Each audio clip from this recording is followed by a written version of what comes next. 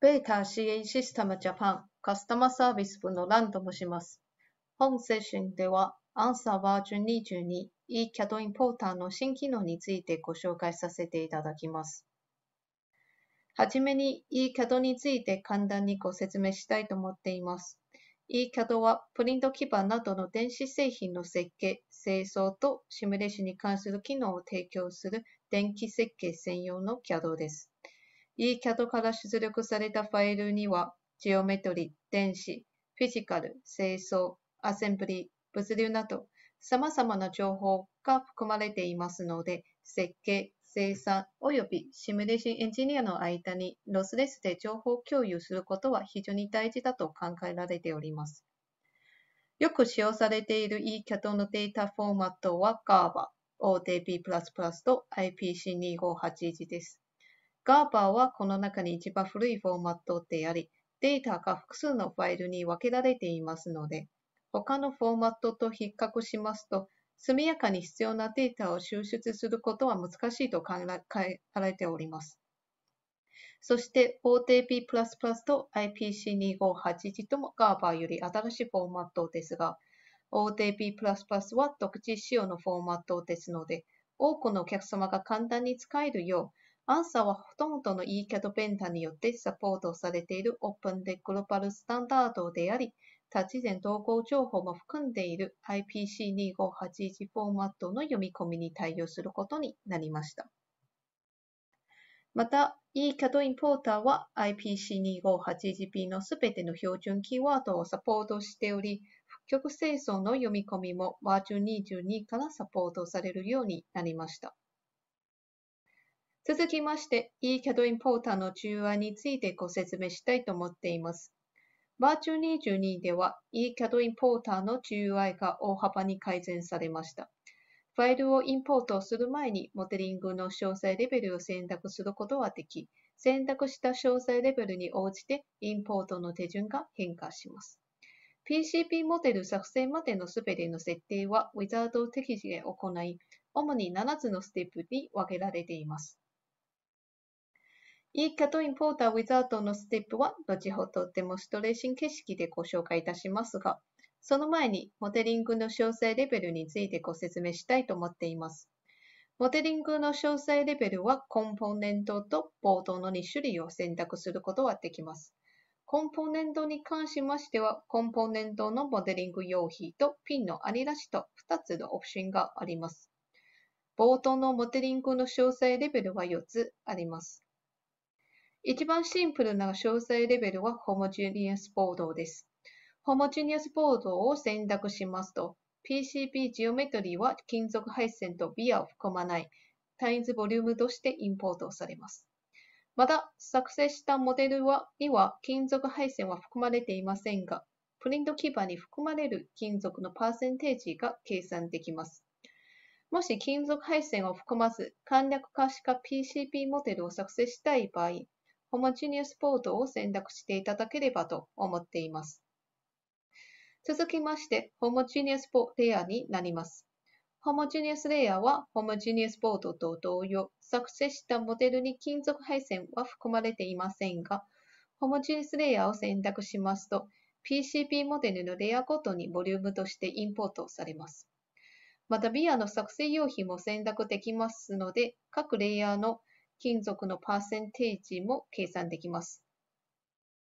フル 2D メタラゼーションとフル 3D メタラゼーションは両方とも絶縁層をボリューム、金属配線のフェースとしてインポートする詳細レベルです。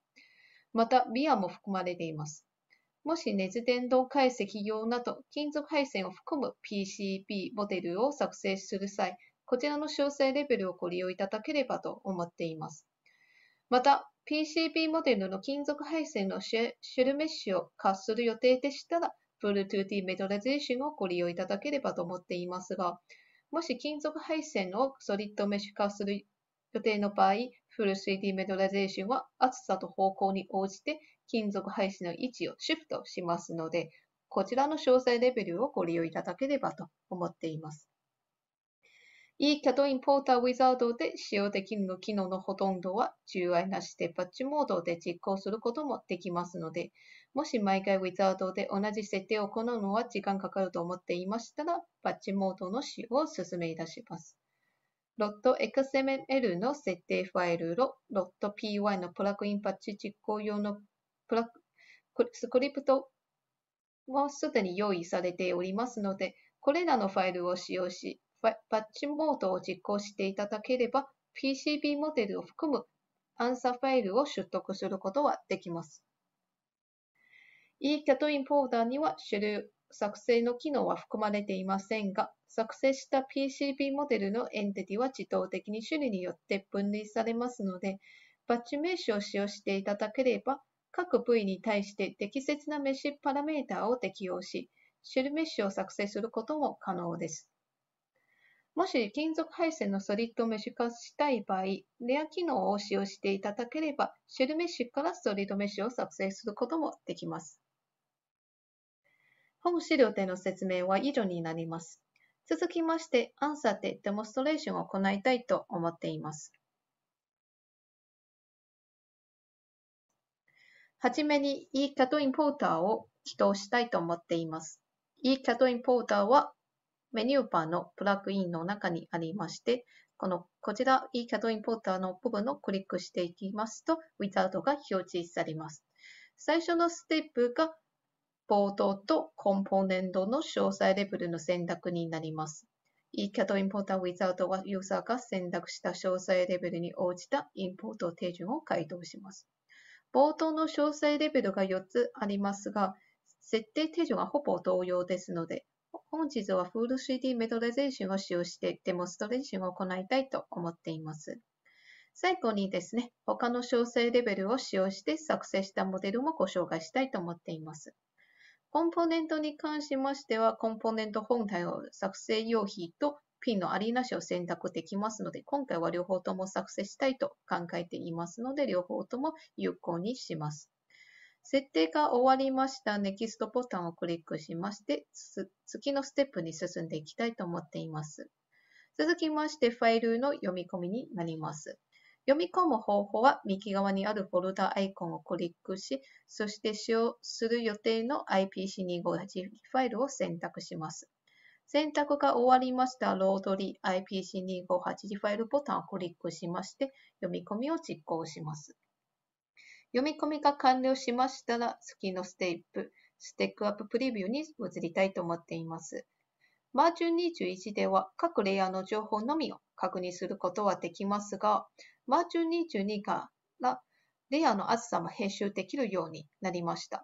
編集方法はこちら、エディット Edit Layer Sequence というオプションを有効にし、そして編集したい箇所ですね、ダブルクリックしていただければ直接編集することができます。また、レイヤーの厚さの編集の他に、マーチュ22から厚さが一定値以下の絶縁層を削除し、条件の同点層を結合する機能も追加されました。絶縁層の厚さの限界値はこちらに設定することはできます。デフォルトが1ですので、もし、あの、絶縁層の厚さを1以下の値、例えば0.5に変更して、そしてこの状態で Accept Stack Up をクリックしますと、ご覧の通りですね、先ほど0.5に変更された絶縁層の方がなくなってしまいまして、そしてその条件にある同点層が結合されていることも確認できますと思っています。今回はですね、編集前のレイヤー構造でモデリングを行いたいと思っていますので、こちらの Undo ボタンをクリックしますし、そして絶縁数の厚さも元の値に戻ります。元の値に戻りましたら、Accept Step Up もう一回クリックします。クリックしますとですね、Generated Step Up にはこれから作成する PCB モデルのレア構造をプレビューすることはできます。また今回選択した Full 3D メトラゼーションは金属配線のソリッドメッシュ化を用意するために厚さと厚さ方向も考慮されていますので、こちらですね、各レイヤーの厚さだけではなくて、同点層の厚さ方向も確認することはできます。ジェネレティブステップの内容を確認し、特に問題がなければ次のステップに進みたいと思っています。続きまして、2D フィーチャーの読み込みになります。2D フィーチャーの読み込む前にいくつかの設定項目がございます。はじめにペリメータレングスにを影響するレゾリューションになります。レゾリューションのテフロジーが100マイクロメータルでなっていまして、そして必要に応じましてテキスト欄に要望値を入力することもできます。レゾルーシの下にあるのは、あの読み込む 2D フィーチャーの範囲を指定するオプションになります。ユーザーが必要な 2D フィーチャーのみを読み込めるよう、バージョン22からいくつか新しいオプションが追加されました。こちら各オプションの違いについてですね、こちらの資料を用いて説明させていただきます。はじめに Import of Feature with Software Net になります。生産番号、そして電子回路と関係ない特徴も含め、すべての 2D フィーチャーを読み込むオプションになります。続きまして、Import Part with Software Net になります。こちらのオプションはバージョン21にもあるオプションになっています。使用していきますと、ファイネットの他に電子回路と関係なく、機械設計を目的を果たすために設定したビアもしくはパッドも読み込まれます。最後は Ignore Feature Out of PCP プロファイルになります。もし読み込んだファイルには冒頭の輪郭情報が含まれている場合、こちらのオプションを有効にしますと、冒頭の輪郭内の 2D フィーチャーのみを読み込むことはできます。本日はですね、こちらのオプションを使用していきたいと思っています。また、先ほど紹介したオプションはすべてベーシックオプションになっていまして、その他にですね、バージョン22からアドバンスオプションも追加されました。アドバンスオプションにはですね、2D フィーチャーの品質、重なっているフィーチャーの処理やフィーチャーの簡略化などの制御をすることはできます。本日はですね、ちょっとデフォルト設定のままで進んでいきたいと思っています。設定が終わりましたら、下にあるインポーボタンをクリックしまして、2D フィーチャーの読み込みを実行します。実行が完了しましたので、一回操作画面に戻りまして、あの読み込んだファイルの内容を確認したいと思っています。ご覧の通り 2D フィーチャーカーフとして読み込まれていまして、そしてレアごとに、レアごとの 2D フィーチャーが XY 平面と平行な平面に配置されていることも確認できますと思っています。続きまして PCB モデルのプロファイルの作成になります。プロファイルの作成ステップの設定項目がバージョン21と同様ですので、各オプションについて簡単に説明させていただきたいと思っています。PCB モデルのプロファイル、いわゆる基盤の輪郭の作成方法は3つあります。各作成方法の違いについて、こちらの資料を用いて説明させていただきたいと思っています。はじめに Use Profile Geometry になります。IPC ファイルにあるプロファイル情報を使用し、PCP プロファイルを作成する方法になります。一般的には IPC ファイルにプロファイルの情報も入っていますが、もしない場合ですね、こちらのオプションも表示されません。続きまして、バンディングバックスになります。バンディングバックスはすべての 2D フィーチャーを囲む最小の長方形を指定した倍率で拡大した後の形状の外象を用いて PCP プロファイルを作成する方法になります。最後がカスタムカーブになります。カスタムカーブは基盤の輪郭のベースとなるカーブを選択し、選択したカーブをから PCP モデルのプロファイルを作成する方法になります。今回は読み込んだファイルを使用して PCB プロファイルを作成したいと思っていますので、1番目のオプションを有効にします。設定がすべて終わりましたら、下にある Apply PCB Profile をクリックしまして、PCB プロファイルの作成を実行します。作成が終わりましたら、一回操作画面に戻りますと、あの、各レイヤーのフェイス、そしてもし側面ももちろんありまして、一回側面のフェイスを非表示しますと、上面と下面だけではなくてです、真ん中のレイヤーのフェイスもちゃんと作成されていることも確認できますと思っています。モデルの確認が終わりましたので、続きまして 2D トポロジーに進んでいきたいと思っています。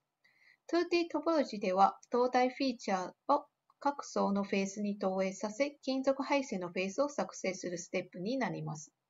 バージョン21に対しまして、実行対象の指定などの設定がなくなり、設定項目はこちら1つのみになりました。このオプションを有効にしますと、2D フィーチャーにある小さな特徴をシンプル化することにより、計算時間を短縮することはできます。一般的にはこちらのオプションを有効にしている状態で問題なく 2D トポロジーを実行することはできますので、アクティブままで実行することをお勧めいたします。そして、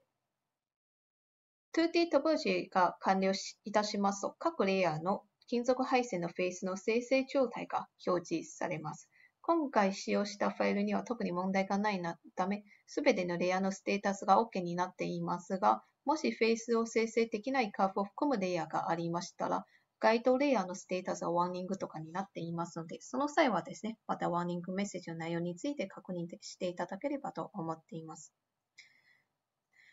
また、モデリングが完了した後にですね、このような一部がかけていることにより、フェイスが作成できなかったカーブなど、問題があるカーブはすべて failed curve というセットに保存されますので、このセットを選択していきますと、簡単に問題箇所を確認でき、修正を行うこともできます。続きまして、3D トポロジーに進んでいきたいと思っています。バーチャル21では、貫通穴の作成とビアの配置が別々で実行する必要がありますが、バーチャル22は貫通穴の作成とビアの配置はワンボタンでまとめて実行することはできます。また、2D トポロジーと 3D トポロジーの実化を時間に関しまして、eCAD インポーターの機能強化により、以前のバージンと比較しますと、最大80%の実感短縮が実現されました。最後は PCB コンポーネントの読み込みになります。バーチャル21では PCB コンポーネントの読み込み用品のみを選択することはできますが、マーチュ22では各種類のコンポーネントの名前、そして数量、ピンの数を確認することもできます。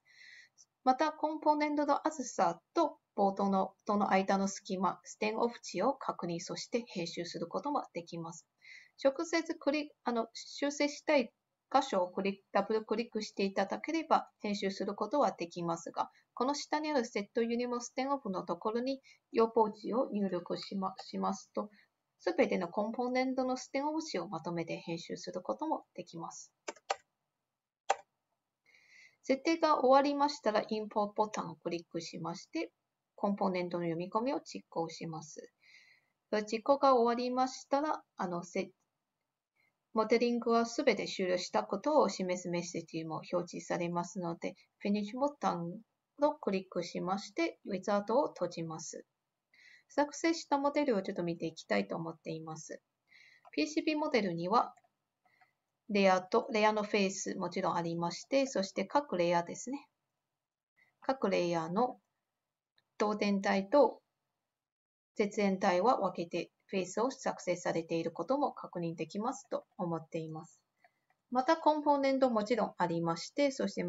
コンポーネントを非表示していきますと、コンポーネントのピンも入って、あの、作成されていることも確認できますと思っています。また、別の詳細レベルを選択したインポート手順も確認していきたいと思っています。こちらはホモジスレイヤーを選択した eCAD インポーターのウィザードになります。モデルには金属配線のフェースがないため、手順にも金属配線のフェースを作成する 2D トポロジーというステップが入っていないなんですけど、代わりにですね、メタフラクションというステップがあります。このステップでは各レイヤーに含まれる金属のパーセンテージを計算できますが、必要がなければネキストボタンをクリックしましてスキップすることもできます。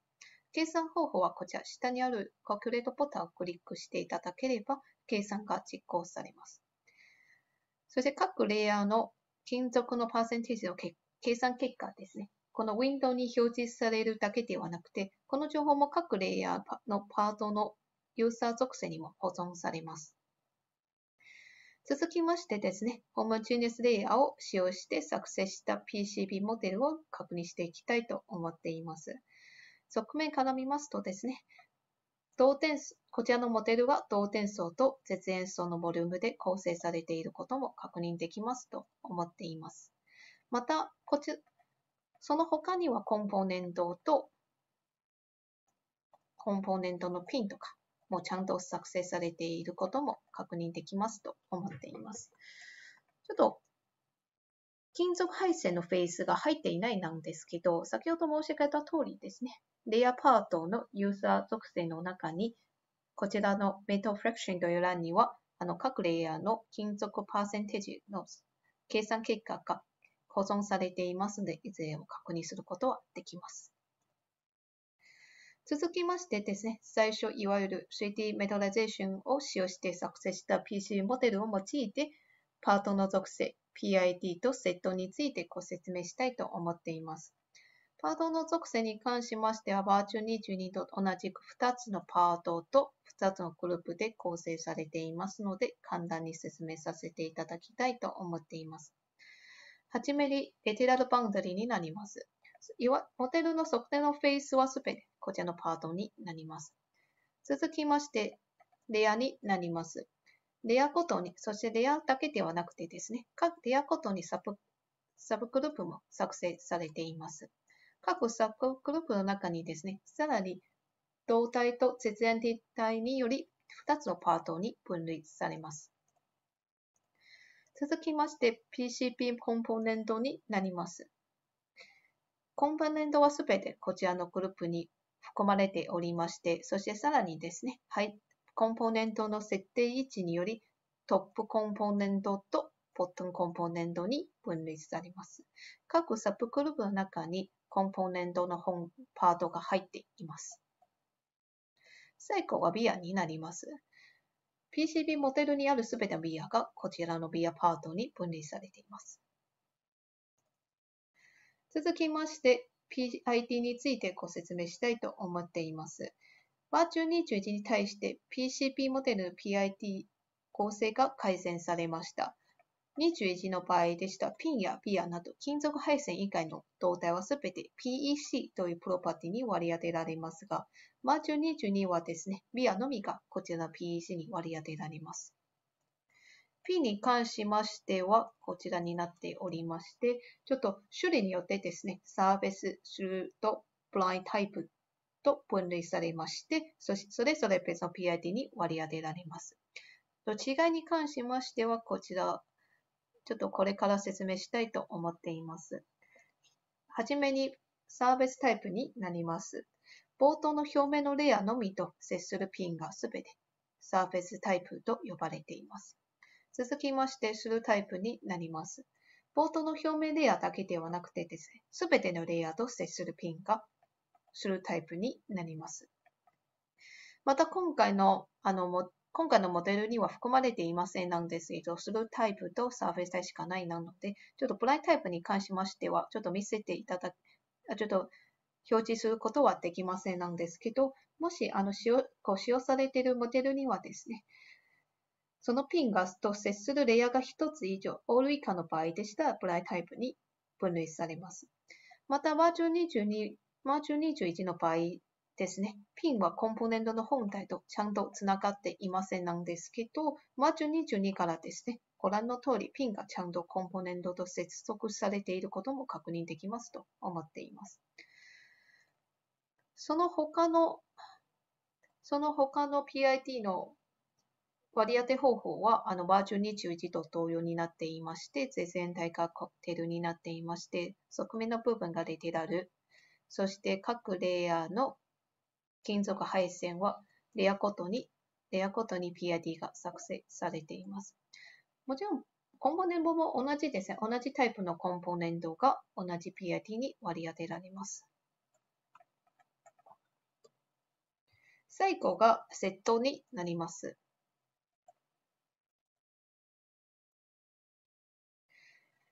IPC ファイルにある情報に基づいて、回路ごとに作成されるセット、今あの表示されているように、バーチュ20以上同様です。22ももちろんこのようなセットが作成されていますけど、バーチュ22はですね、さらにコンポーネントのピンとそれに対応するランドをまとまるセットが作成されています。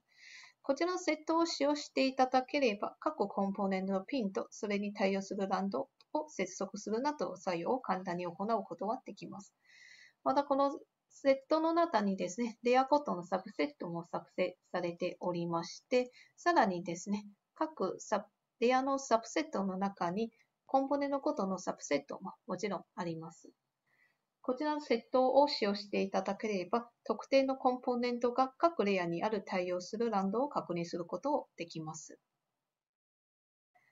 本セッションでの説明は以上になります。ありがとうございます。